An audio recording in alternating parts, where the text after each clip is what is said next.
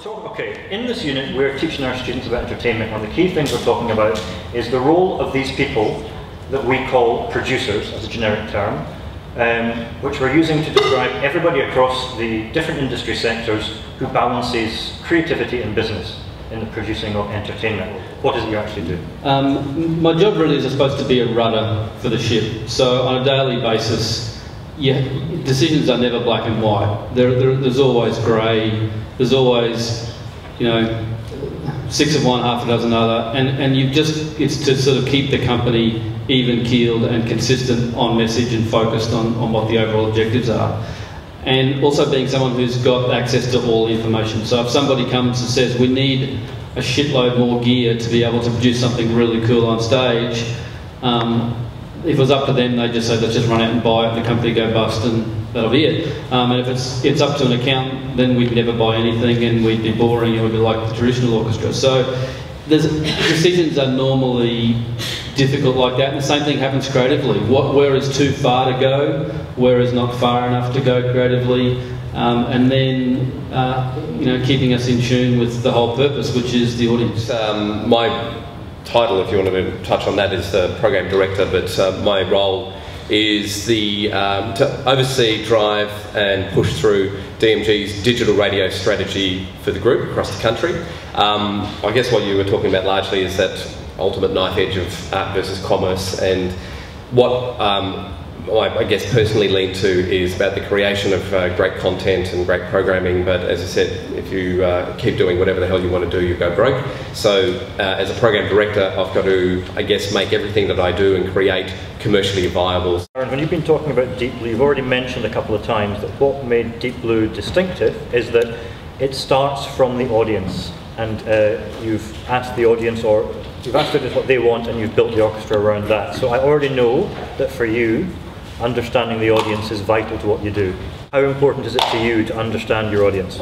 Oh, a billion percent. There's no point doing anything if you're not actually catering for the audience. If you're building shows, whether it's for TV or radio, for the producers of the show, then you're wasting your time. It's all about audience. But also remember too, there are a number of different audiences as well. There's consumer audience, there's commercial audience as well, your commercial partners.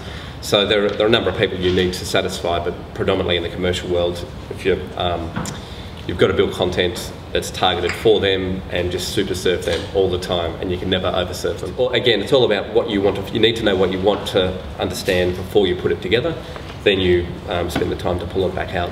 Another component we do will be research to understand the audience and what really works, particularly for a youth brand like Nova.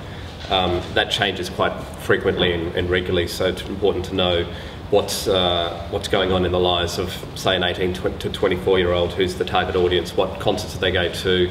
What sort of um, fashion brands do they enjoy? So we learn a lot more but rather than just specifically music. We also learn about lifestyle. Do you do anything like that as Absolutely. well? Absolutely. Um, i'm a big believer that unless you can really be specific on your targets um, and, and knowing them well, you're really you're aiming at nothing. Way of converting that is, I mean, we're very specific at looking always at who the audience is and not just about who we want it to be. So right now, we describe our audience as the Joneses, and it's a family, um, and they're kind of um, a middle income bracket. Uh, it's not one and a half incomes, not including what the kids are doing to buy iPods and things with.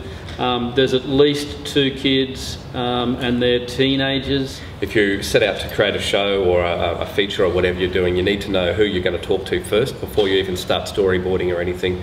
Because if you don't know who they are and what they're about, then you're probably not going to hit the mark. So it's about building that profile in your head. And then there's another mechanism you can do um, where it's a lot larger uh, research study where you'll test up to 500 songs in one night with um, your target audience. Um, that's obviously costly and doesn't happen quite as often. And there, it depends on what you want to find out, but the most common one is regular research. And the, when you say the, the larger scale thing where you do 500 songs, yep. Um, how is that managed? Is that online as well? No, you generally will do that in a, in a it's called an auditorium music test. So you'll get a, a bunch of people, you screen um, a, a, bunch of people to come in, they spend the night, you feed them, you pay them. Uh, it's something that you can't expect someone to sit down for three or four hours and churn through 500 songs. And you play them 500 song hooks and then they just tick a box or they might have um, more recently, they'll do um, a little knob that they get to twist, so a bit like the worm that you may have seen on sometimes on TV, and um, we can get a gauge about how the song um, rates, and you can actually get real time information about when they're listening to the song. You'll see it go up and down, and um, that's usually applied though if you're building something fresh from scratch, and it's usually applied to songs that are more familiar. Like for example, if you're doing a, a gold format station, like I don't know, say Triple M or the actual rollout of Deep its marketing strategy and is very much community based as well. So it involves schools, community groups, local councils. So when we hit towns, we try and sort of cover everything like wallpaper, not just sort of show up, do a gig and leave.